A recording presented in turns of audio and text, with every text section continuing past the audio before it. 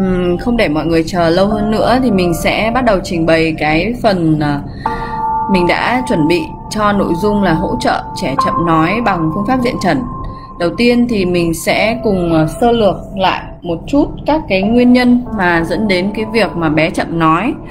Uh, những cái nguyên nhân này thì uh, chắc chắn là mọi người cũng đã đọc ở rất nhiều tài liệu báo mạng vân vân. Uh, với cái trường hợp trực tiếp sáng nay mà mình uh, tư vấn ấy thì uh, bé bị sinh non. Và mặc dù là gia đình đã hỗ trợ con rất là tích cực rồi nhưng mà đến nay thì ờ, uh, 2 năm uh, đi chữa trị nhưng mà bé vẫn còn khá là chậm nói. Thì những cái nguyên nhân ví dụ như là tiếp xúc với TV, iPad, điện thoại quá sớm hay là không được nói chuyện thường xuyên, ít tiếp xúc môi trường bên ngoài uh, đều là những cái nguyên nhân khiến bé chậm nói. Thì nếu mà bố mẹ uh, có con mà gặp phải những cái nguyên nhân này thì mình nên uh, giải quyết từ những cái nguyên nhân gốc này đã thì mới có thể hỗ trợ bằng diện trần được.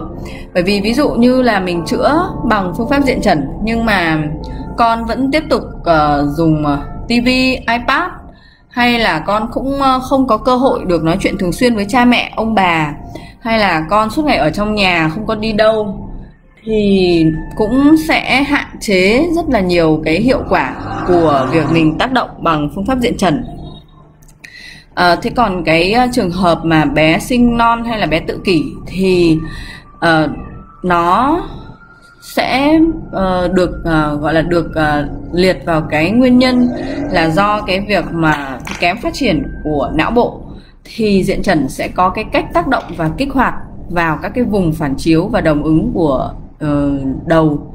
Thì mình sẽ trình bày trong phần sau như vậy là ở phần slide này thì mình thống nhất với nhau là nếu muốn giải quyết những cái nếu mà muốn hỗ trợ để cho bé uh, nói tốt hơn thì mình cần phải loại bỏ được các cái nguyên nhân này.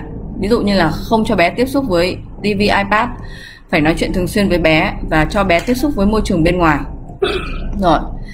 À, và cái cái cái việc mà trẻ chậm nói và khi nào mà mình cần can thiệp thì uh, uh, cũng rất là nhiều mẹ uh, lo lắng. Bởi vì uh, thực ra thì mỗi đứa trẻ nó sẽ có cái um, giai đoạn phát triển khác nhau. Thì đây chỉ là một cái tiêu chuẩn mà mình uh, tìm hiểu uh, qua mạng internet thôi. Uh, và uh, các mẹ có thể là quan sát thêm con của mình cũng như là mình uh, liệt kê lại các cái nguyên nhân của bé chậm nói xem là có nguyên nhân nào khiến cho bé chậm nói không? Và cái slide này thì các mẹ có thể là lưu về và uh, đối chiếu với con của mình được không ạ? Và các cái cách phát triển ngôn ngữ cho trẻ thì như mình đã nói ở phần đầu à, các bạn có thể lên Google các bạn tra được rất là nhiều cái bài viết Ờ, các cái phương pháp các cái hướng dẫn. Nên là những cái phần gì thông tin mà ở trên um, internet có thì mình sẽ không nói lại nữa. Đúng không ạ? Chỉ cần gõ một cái từ khóa thôi thì các bạn sẽ có rất là nhiều thông tin để đọc. Và mình nhấn mạnh ở đây cái quan trọng nhất là môi trường gia đình sẽ là cái môi trường mà giúp bé phát triển ngôn ngữ cũng như là sự tự tin lòng yêu thương. Ờ, nên là mình không thể uh, phụ thuộc vào các cái yếu tố bên ngoài. Để mà các cái phương pháp bên ngoài để mà mong con uh, phát triển ngôn ngữ được mà gia đình sẽ cần phải rất là nỗ lực. Và tất nhiên là mình cũng cần tạo cho con một cái môi trường tốt của nhà trường xã hội và môi trường học tập cho con. Và đây là cái phần mà quan trọng um, đầu tiên mình muốn trình bày với uh, các bạn sáng nay thì mình cũng đã có tư vấn riêng với bạn Minh Thúy rồi nhưng mà hôm nay bây giờ thì mình sẽ xin trình bày với các bạn một cái vấn đề rất là quan trọng cho dinh dưỡng cho bữa sáng. À, tại sao bữa sáng mình lại chỉ có chiếu cái hình ảnh của hoa quả trái cây lên đây? Là bởi vì um, buổi sáng thì khi mà mình thức dậy ấy, cái năng lượng đầu tiên mà cơ thể mình cần đó là năng lượng cho não bộ. Và não bộ thì nó chỉ tiếp thu các cái dinh dưỡng nhẹ các cái ờ, sinh tố, hoa quả và vị chua ngọt. Nên là nếu mà buổi sáng bạn vừa ngủ dậy, thì thường là bạn sẽ rất là thèm một cái ly ờ, cà phê ngọt ngọt, đúng không ạ?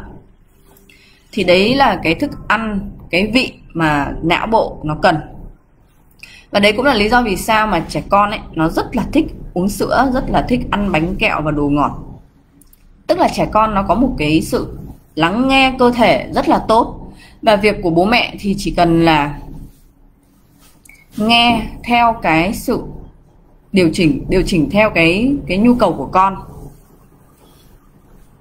Do vậy là thường thì là bố mẹ sẽ thường cho con ăn xôi ăn cháo ăn ờ, mì vân vân vào bữa sáng. Nhưng mà bé thì lại chỉ thích ăn bánh kẹo sữa thôi. Nên là um, cha mẹ có thể điều chỉnh bằng cách là cho bé ăn bữa sáng tăng thêm sinh tố ở các cái vị chua ngọt và ăn bánh kẹo theo nhu cầu của con. Đây là một việc rất là quan trọng, bởi vì cái năng lượng cho não bộ mà không đủ thì não bộ nó sẽ không có như kiểu là một cái xe nó không đủ xăng để nó chạy và nó không đủ năng lượng để nó phát triển. Nên cái việc mà bữa sáng ăn những cái thực phẩm bổ não à, mình nhấn mạnh là vô cùng vô cùng quan trọng. Thế còn bữa trưa thì bố mẹ có thể cho con ăn sinh động đầy đủ tất cả các loại thức ăn thịt cơm rau củ hoa quả mà bé thích. Còn bữa tối thì ưu tiên những cái đồ mà nó sẽ có nhiều cái chất béo hoặc là những cái vị cay từ hành tỏi gừng giềng xả và ưu tiên các cái chất béo dễ tiêu. Ví dụ như là các cái loại uh, dầu omega 3 hay là dầu uh, dừa hay là các cái loại uh, cốt dừa béo vân vân thì những cái chất béo tốt nên ăn vào buổi tối. Thì uh, dinh dưỡng là một trong những cái phần rất rất là quan trọng và mình nhấn mạnh là cái bữa sáng đặc biệt quan trọng với não bộ. Nên cha mẹ có con mà đang cần tập trung học tập hay là cần tăng tính tập trung cho con hay là cần uh, giúp con là phát triển não bộ tốt nhất thì cha mẹ nên điều chỉnh lại cái thói quen ăn uống. Bởi vì mình biết là phải đến 99% người Việt Nam thì có cái thói quen là ăn xôi, hủ tiếu, bánh mì, bánh đa cho bữa sáng, tức là ăn cái vị mặn cho bữa sáng và nó làm cho mình rất là buồn ngủ. Nên là nếu mà mọi người lắng nghe cơ thể và ngay sáng ngày mai mọi người thử đổi cái thành phần trong bữa ăn sáng của mình thôi thì hãy cho Ngọc Anh biết cái cảm nhận của mọi người sau bữa ăn sáng nhé. Uhm, thì đấy là phần dinh dưỡng rất rất quan trọng mình nhấn mạnh lại là rất rất quan trọng cần phải điều chỉnh thì việc tác động bằng phương pháp nào nó mới hiệu quả được. Vậy thì với diện trần mình sẽ tác động như thế nào cho trường hợp là hỗ trợ trẻ nói chậm? Thì cái cách đầu tiên ấy là tác động vào các vùng đồng ứng với não bộ.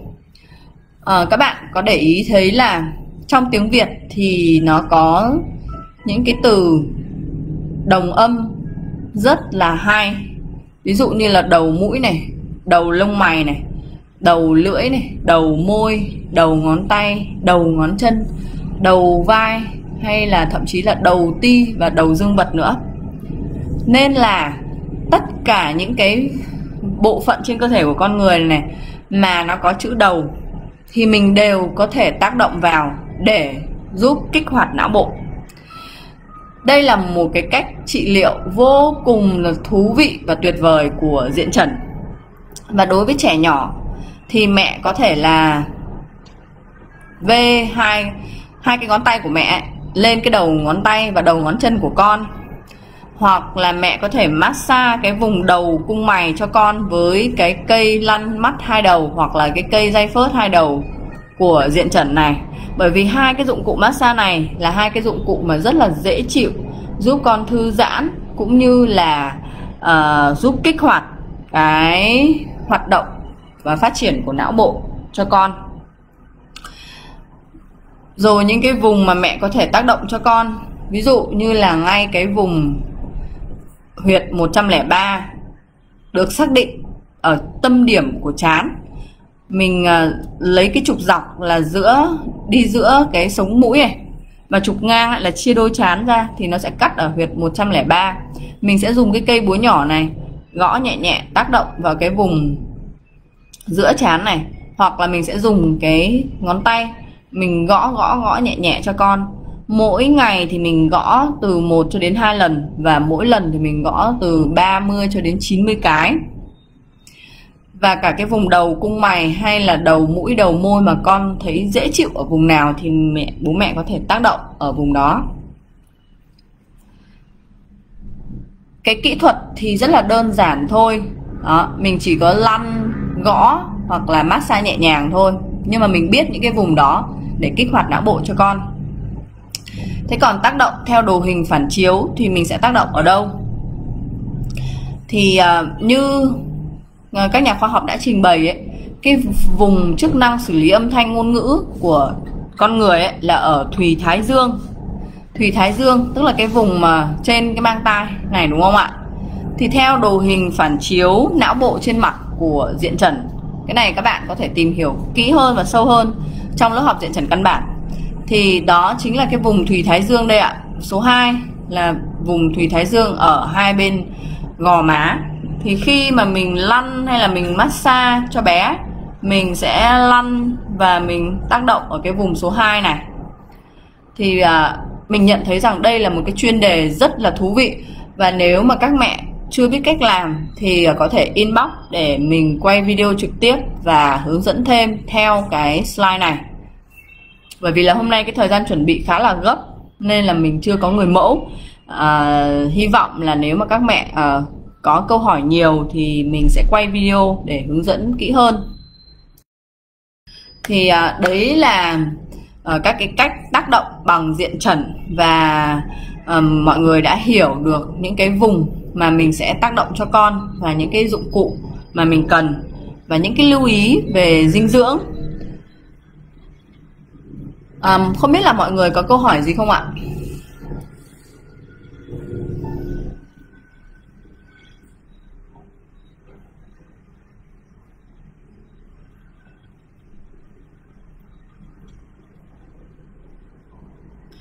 À, bạn ờ, Lan Anh Nguyễn có hỏi là con nói ngọng thì có cách nào khắc phục được không?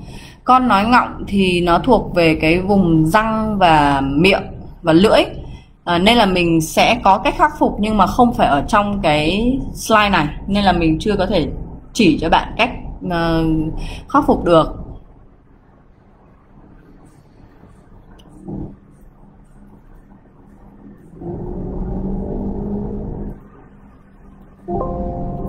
Thì um,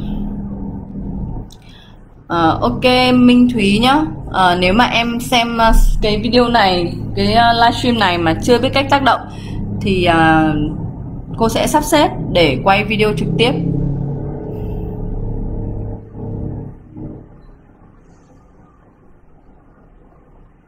Và nếu mà bạn nào cần uh, cái uh, tài liệu ở trong cái slide này thì hãy inbox trực tiếp cho mình, mình sẽ gửi cho các bạn qua email nhé.